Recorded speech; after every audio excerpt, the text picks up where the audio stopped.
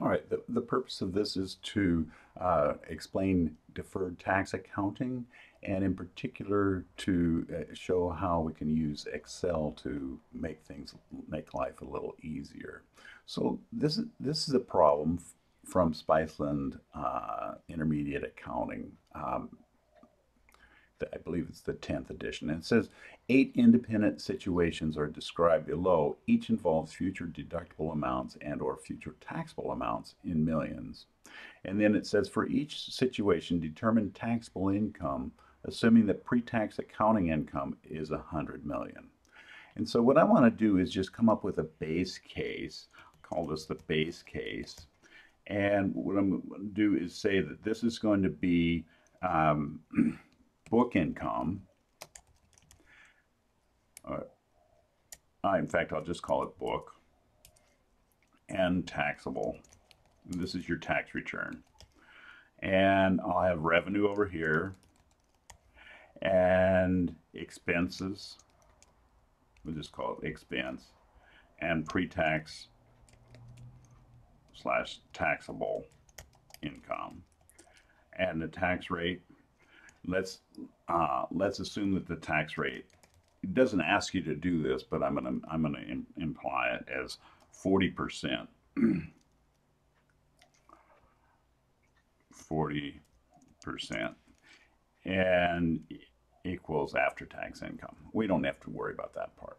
So I'm going to put a little line under this, make it fancy, and I'm going to, it, it says that pre-tax book income is a 100 million. And I'm going to put that, sorry, 100 million in yellow because that's kind of fixed.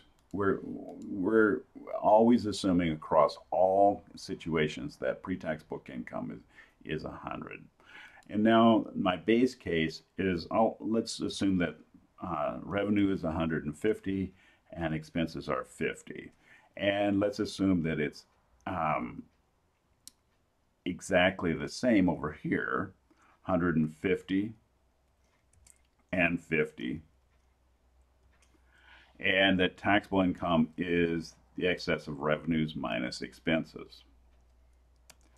And in each case we have tax rate of 40% so we'll say uh, in fact uh, that is equal to 0.4 times the pre-tax book income and we'll say the same thing over here as 0.4 times the pre the taxable income. so that's, um, and uh, let me just say tax, and we'll put in parentheses, the rate equal is 40%, like there. That's the base case. Now let, and in that particular case, the entry looks like this, the tax entry. Looks like this. We're going to have uh, income tax expense and income tax payable and the put this as debits and credits like here with a line under there. Tax expense is going to be from this number right here off of book. And tax payable is going to be from this number right here. And this tax payable, and, and the difference, if it's a credit, is going to be a deferred tax liability. If it's a debit, it's going to be a deferred tax asset. And that all assumes uh, that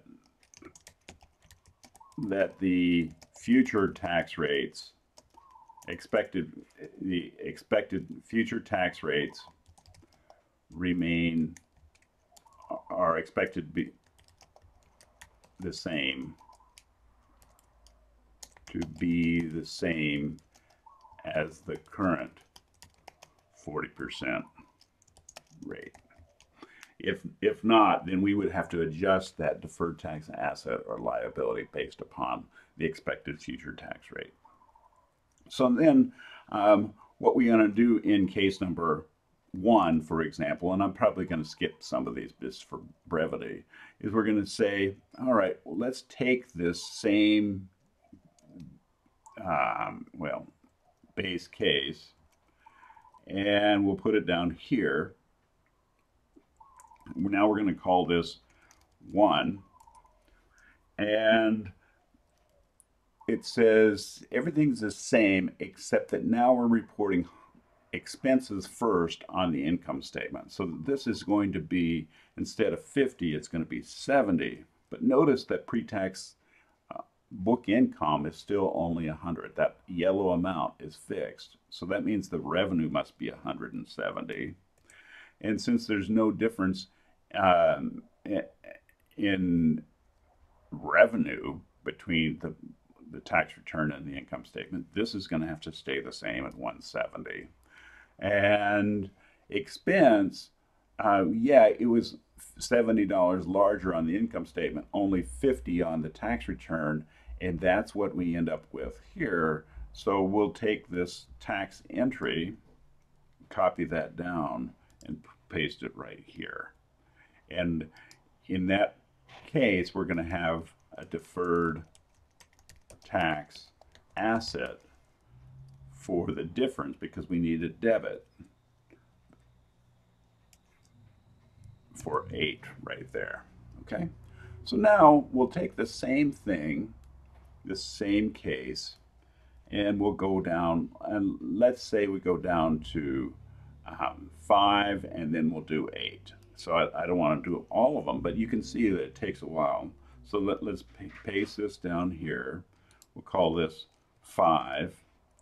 And in 5, we're going to have this basic here. We're going to say, well, we're going to have expense is going to be earlier for the income statement. So that's going to be 70 here.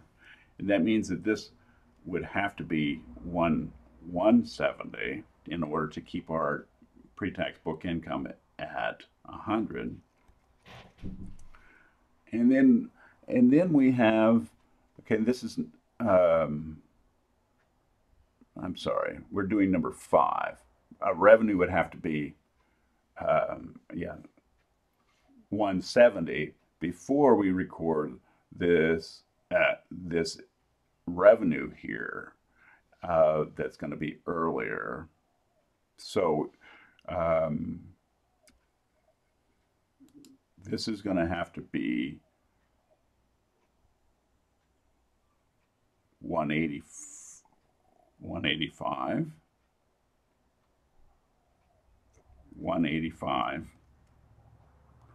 And that 185 is because we've we've got how do we do that? If we have um, revenue here is our base case is 150 and we want to keep the 100 so we're going to have higher revenue and higher expense. So let's let's adjust the expense for okay so then we're going to adjust that expense from 1 from 50 to 70 and that gives us 170. Yeah, that's what we want to do, is equal to this plus the 70. Sorry, let's try it again. This is equal to plus 70 is one, 170. And then we say, wait a second, we've got uh, revenue that is $15 earlier for book purposes, that means this has to be $15 smaller. So that's going to be equal to this minus 15 because we reported that earlier. Um, and the expense is still going to be the base expense for um, for tax purposes. So we end up with uh, 105 of pre-tax our taxable income.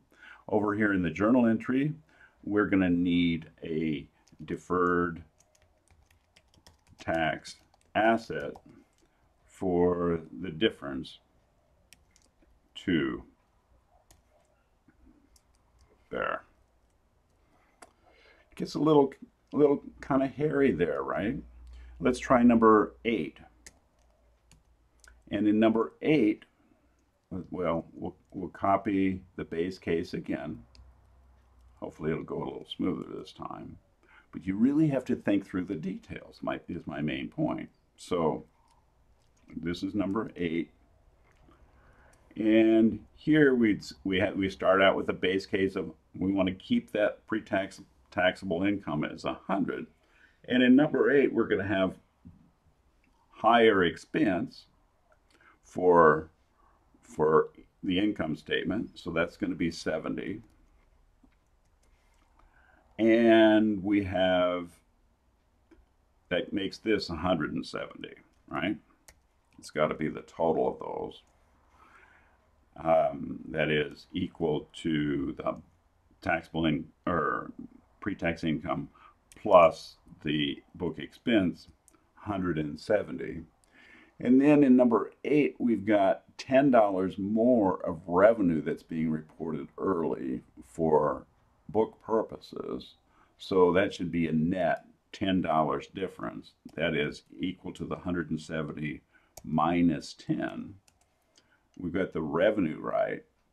But then we also have, uh, we had recorded the full 20 early here. Let's adjust this, and that should be um, another 10 here. So it's going to be equal to 50, the base case, plus 10, 60. And we end up with the same there. And that's a pretty simple journal entry because there's no deferred tax asset there. There's no difference. Okay. Is there a way that we can use Excel to make our life easier here? And I think there is. So let's let's say that we start with pre-tax accounting income and we have the base case and then we have cases one and then this is going to be equal to this one plus one. And we'll copy this out three four five six seven eight. And we will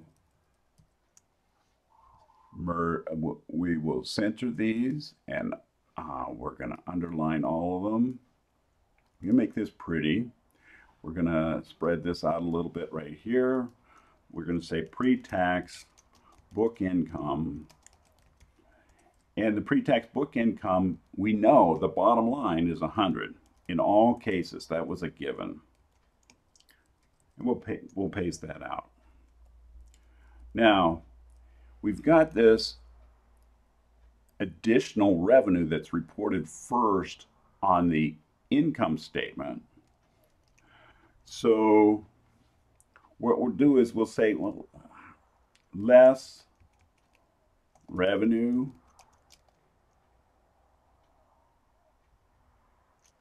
we'll say ad adjustments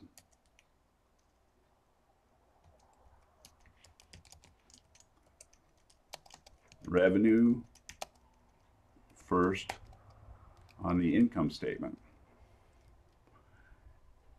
And then we'll say expenses first on the income statement.